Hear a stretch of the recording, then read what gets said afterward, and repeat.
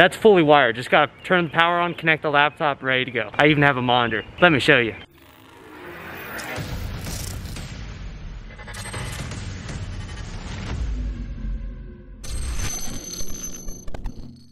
You know, it was just a normal day. I, I was checking my Instagram, checking all the comments, responding like normal. And then uh, I put my phone down, about an hour passes, and then I go back to my phone, open it up, and then, whoa, I got 40 new DMs on Instagram. That's not normal. You guys are all spamming me, telling me, do the Bring the Gear Out Challenge, do the Bring the Gear Out Challenge. And I'm like, what the, what the is? And then I go look, Bayarto made this new challenge called bring the gear out. So you gotta bring the gear out, set it up, and he did it in like 13 minutes or something like that, but he didn't cable anything. So I am going to do it a little bit different. I'm gonna do the bring the gear out challenge. We're gonna go down to the garage, we're gonna do it, but I'm gonna wire the whole thing and we're gonna see how fast I can do it with my whole new setup strategy and stuff. So I'll see you down at the garage.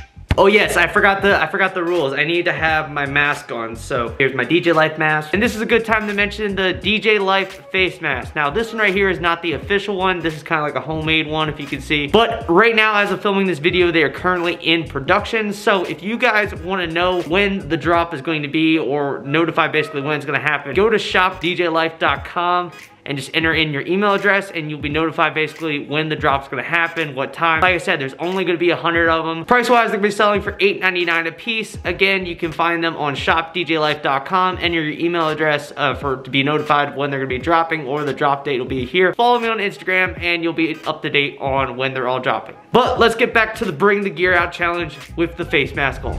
All right, so down here in the garage and what I'm gonna be setting up is my turntable booth setup that I planned on using for for my 2020 events, which have yet to start. So looking at my uh, loadout sheet over here, speaker-wise, we're gonna take uh, the SRX tops with the VRX subs. We're gonna need our sub poles. We will take a gig tote and a cable tote that are in the audio rack and DJ booth. We're gonna be using the turntable booth right here and we'll get a facade set up. So I'm gonna grab everything in here that I need and I'm gonna kind of wheel it outside here. So that way basically it simulates where I have everything loaded into an event to see how quick it is to set up everything. Obviously, I'm not gonna put that that inside the tote because I don't have two people here to help me carry it. Now for my actual booth here, obviously my Rane 12s and my S9 are actually upstairs set up for live streaming and me practicing DJing. And at all my events, I always have an assistant helping me. So for that reason, I'm just gonna kind of place this already in place instead of putting it into the road case because there, there's no point, especially for this challenge. I'm gonna set it up out there. I'm gonna roll the rest of the stuff there and basically go through and set it up as quick as I can. I'm also gonna cable everything because I kind kind of want to see how fast it is to set it up. Lighting wise though, I'm not actually going to set up any of the lighting. So overall, I'm simulating a very simple reception setup for audio only. Let's get into it. All right, guys, well, I got everything out here, and I'm kind of shocked at how little there really is. So, we got my DJ booth, which normally would be in the big road case, so imagine this is the big road case here. Facade, speakers, two subs, two tops. We have a JBL Eon 1 compact. I'm gonna use this as a monitor, and then the audio rack. That's everything. So, I got my stopwatch right here. My goal is to be able to do this in less than 20 minutes. Fully wired and ready to go. I'm even gonna run power into the garage. All right, so here we go. Three, two, one, let's go.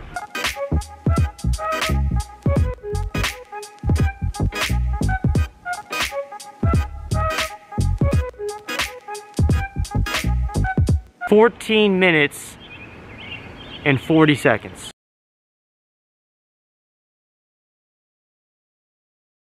All right, so starting at the source is my DJ booth. Now, obviously don't have the players here, so I can't actually play music tonight, but the two Rane 12s, the S9 are there, already pre-wired. All I have to do is hook up my laptop over there, ready to go. I pre-made this booth with all the wires coming out of it. So right here is the left, the right, and the power coming right out of the booth. The facade is here, and it basically blocks the rack and the rack table behind it. So I'm gonna remove the facade just so I can show you guys the wiring of everything here. All right, so this triple loom right here with the power and the two audio cables runs down around here and then it splits. So the audio inputs come back here to the back of the audio rack and they plug in right here accordingly left and right. The right indicated by the red zip tie here. The power then plugs in on the front side. While I got you on the back side of the audio rack real quick, let me show you guys the outputs. So here we have our high, left, and right. So this goes to the left side side, this goes to the right side, and then we have the low right here, this goes to the left side, this goes to the right side. These are our XLR outputs, and the middle one here goes to my monitor speaker. So right here is the sub and the audio going to that speaker stack. Here is the monitor feed. This is the power cable going to the power over there. And then over here, here is the sub and the top cable going to this side and the power cable going to that side. Now I didn't worry about cables too much here. Obviously I would make this a little bit cleaner and obviously I would gaff tape all this down in an actual vent. Now behind each one of the speaker stacks, I have a